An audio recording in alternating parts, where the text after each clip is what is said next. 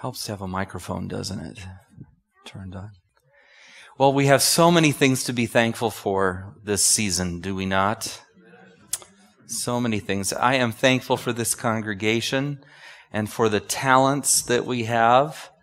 Much love and gratitude to uh, Linda Scotto, our children's ministries director, who uh, just does a great job year round for us and to uh, all those who assisted her here.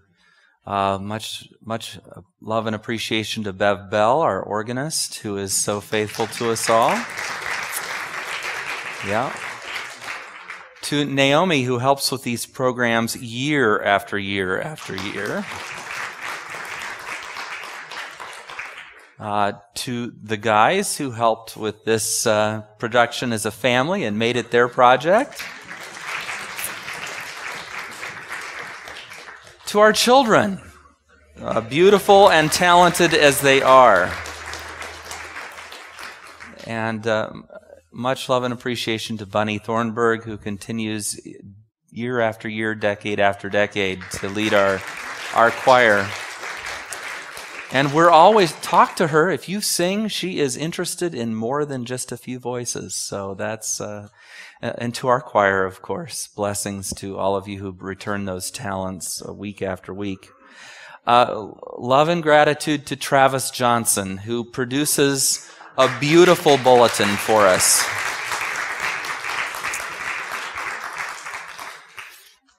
This year, uh, VJ did the designing of the bulletin, and so I want to thank her as well. I just visit another church, and you won't see anything like this. Every time I go somewhere, I say, yeah, we're doing a good job because our bulletins are, are they're artful, they're lovely, they, they do indicate our care about not only beauty, but the God of beauty and the way in which we take your being with us seriously. And so my thanks to VJ and to Travis. Uh, give a hand to our sound crew, please. Birker and his team work tirelessly and faithfully behind the scenes, and I would have to yell a lot if uh, they weren't back there. So I'm really, it's it's been a wonderful year, and I want to thank all of you for your help and participation. And as Milton mentioned, we do have a wonderful program Christmas Eve coming up at 11 p.m. And I would very much like to hear from you today or tomorrow by email if you're willing to do something with that program. Do a reading for us. If you have a, a Christmas uh, song that you have in your heart to share, we'd like to talk about that too. So thank you so much. Um, it's been a rich season together in Advent too. For those of you who are visiting, we here at Santa Clarita take Advent time to look forward to the coming of our God. This is a coming that is the first coming, but it also echoes the coming yet to be, the second coming, our unrealized eschatological piece, to, to put it in the big words for those of you who, who appreciate me for that. Um, it's our unrealized eschatology that we celebrate as well as our realized eschatology. And so Jesus has come and yet we take Advent to look forward to that time of coming. And, and I just want to recap for those of you who haven't been around some of the fun and uh, beautiful things I think we've, we've been talking about.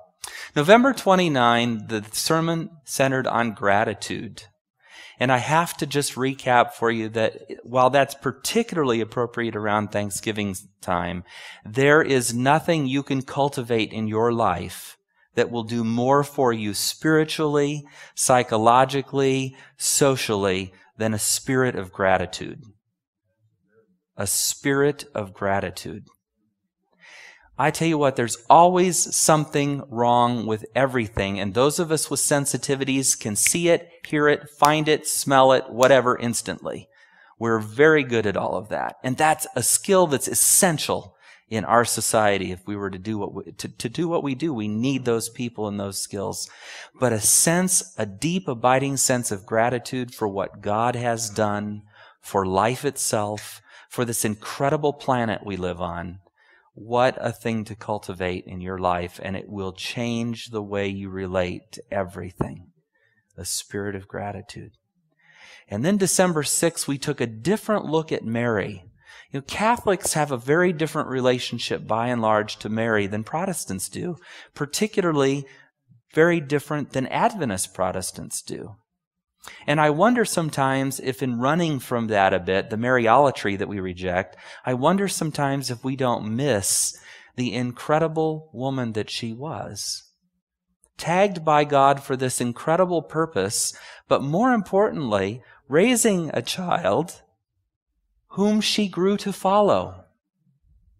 December, we talked about, December 6th, I guess it was, we talked about Jesus and his mother Mary and the way that she was not just a mother to him, but a disciple to him. There at decisive moments along the way, even after his death, praying in the upper room, being with those who were uh, choosing the replacement disciple for Judas. She's present in all of these biblical moments. And so I took a moment to just say, let, let's reframe where we're coming from. Mary shows us not only what it means to hold God in her arms, but she shows us what it means to follow him as a disciple. We have a wonderful model of feminine discipleship in Mary. The following week, we looked at Zechariah's song. Zechariah was a high priest the father of John the Baptist. And when the angel appeared to him and said that you and your wife are going to have a baby, because they were old, he thought it was funny. I guess you don't laugh at angels. Because when he laughed at the angel, the angel said, That's fine. You're not going to say a single thing until this child is born. And if you decide that his name is something other than John, you'll never say a single thing. You're going to be quiet until he's born, and his name will be John, and that's the end of the story. And so when the baby is born, and this dumb man is given, this mute man is given a pad and pencil, everybody is shocked when he writes his name is John because that was not a family name.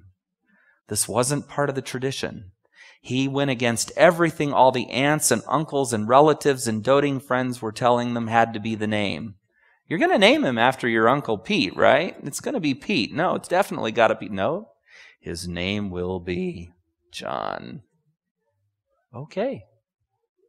And so Zechariah's song is what we, we focused on last week echoing back to songs of deliverance and songs of praise and songs that go back to Abrahamic sort of promises that we would live in a land and, in, and we would live in peace and inherit it. So, Zechariah's song spoke to us last week, and now this week we're going to look at John the Baptist's song. And I know you're going to say to me, Did John the Baptist sing? I don't know.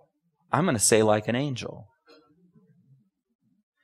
But this man did something that's really unique, and he models in his own discipleship something that I think we're not familiar with, but need to become aware of. In ancient Near Eastern times, when a king traveled somewhere, generally two things happened. The richer the country, the bigger the country, the more powerful the empire, the more this was the case. But always an emissary was sent before the king to wherever he needed to go. An entourage was sent ahead of him. These emissaries would take gifts, messages from the king, and make arrangements for his travel and arrival. Now remember, we're not talking about um, Secret Service and 747s here. We're talking about camels and, and distances to lands that would take months sometimes to navigate.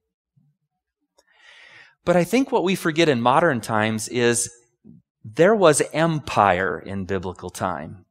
I mean empire with a capital E. And in the time of Rome, Rome was very, we're patterned after Rome, by the way, but Rome was very deliberate about building roads. What do they say, the old saying? All roads lead to Rome. It's true. They built them like, like spokes of a bicycle wheel going to all parts of the world. Why? Because they wanted to be able to demonstrate that if there was an insurrection or there was somebody who didn't want to pay their taxes or there was an uprising in some different area of their empire, they could mar- march an entire platoon of an army 20 some, 30 some miles a day toward that destination. And in biblical times, that's the equivalent of loading a tank onto a Galaxy 5 and sending it to Iraq. Unbelievable military power that they demonstrated in their capacity to move armies and people and supplies because of the roads they built everywhere they went. They built aqueducts so they would have water. They did all of this in the name of empire. But while Roman Empire may have been one of the greatest ones, there were lots of empires before them. The Egyptians, as you know, had an incredible civilization. The Assyrians. These, all these empires would have kings. And we, we think of these things as sort of primitive and crude, and yet we do almost exactly today what they did then, just in a different form. They would send a group of people, as I mentioned already, to the place they wanted to go. So let's say that the king of um, the Hittite Empire wanted to go visit Egypt. There would be a whole group of people that would be sent as an advance party to Egypt, first of all, to make contact and make sure that everything would be well and that their king would be welcomed but also to make sure that there were safe and proper accommodations, that the details were worked out of the visit so that there wouldn't be any friction between the group coming in and, and uh, the country being visited. There was concern, of course, because they would bring chariots and they would be bringing armed men, that it wasn't perceived as an attack or a, a battle coming uh, to, to the borders a way was prepared for the king. The other thing that happened in, in ancient Near Eastern times was that if the road wasn't in very good condition, it wouldn't do for the king to be bouncing all over. Now, it's slow traveling, but if you're riding on something without springs in the axle, any little bump is pretty rough. And any rut could send somebody flying right out of a chariot. And so what would happen is these kings would send crews ahead of them to, to clean up the roads, so to speak. So when Isaiah speaks of every valley being made elevated and every mountain being brought down and the way being made plain, he's actually talking about two things simultaneously. And, and will, the subtlety will not be lost on you. One, he's making a reference to preparations for the coming of a king. The second thing he's making reference to is, of course, the, the spiritual message of this. What did Jesus say in his own ministry about valleys and mountains? In other words, what did he say about the proud and the humble? What did he say about the meek and the strong? What did he say about the oppressed and the oppressor? What did he say about justice? So implied in all of this is a deeply spiritual message that says those who have been oppressed are going to cease from being oppressed. Those who have been doing un, unjust, injustice will become as the oppressed. You know, remember the Beatitudes. Jesus speaks in the Matthew and Lutheran account, Lucan account differently. One account emphasizes the literalness. That is to say, literally, blessed are the poor. Literally, blessed are the poor and the, the, the meek and so forth. The other account spiritualizes it. Blessed are the poor in spirit, etc. Both of these interpretations of Jesus' followers and the writers of our Gospels come to us as something to think about this season. Because just as Isaiah talks about preparing the way, and let's just look at that text so that we have it all together. Isaiah 40. Take a moment, open the word, Isaiah 40.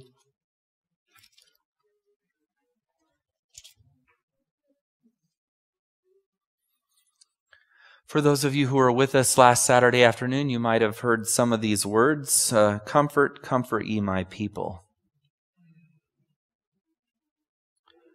Says your God, speak tenderly to Jerusalem and proclaim to her that her hard service has been completed, that her sin has been paid for, that she has received from the Lord's hand double for all of her sins. And then it goes to the prophetic. A voice of one calling in the wilderness, prepare the way of the Lord Make straight in the desert a highway for our God. There is a king coming, and the way must be made. There's a king coming, and the roads must be prepared. Now, wilderness here, of course, doesn't just refer to like the Sahara with sand dunes. It's talking about places not inhabited, wild places. And so if we take that, that model of wilderness in the uninhabited places, in the desolate places, in the remote places, we make straight a highway for God. Every valley shall be raised up, and every mountain and hill made low. Rough ground shall become level, and the rugged places a plain. And then what happens? What happens next? And the glory of God the glory of the Lord will be revealed, and all people will see it together. And then to seal it, as if God were taking a signet ring and shoving it into some clay, as if God were signing his name to it. This, this prophecy. He says, For the mouth of the Lord has spoken it. When I hear those words, I can't help but smile, for the mouth of the Lord has spoken it. Is there a higher authority? Is there a greater truth? Is there any deeper level of integrity or honesty than we might find in the Lord? It's the ultimate it's the ultimate signature, the ultimate stamp of authority, for the mouth of the Lord has spoken it. There is such power in this mouth. This is the mouth that speaks and things become. This is the mouth out of which creation is born. This is the mouth that speaks words of judgment, and they are so, and works of forgiveness, words of forgiveness, and it is so. This is the mouth that brings to us a word that endures. The word of God is forever. Well, then we can go too to Luke, and we find John the Baptist's song there.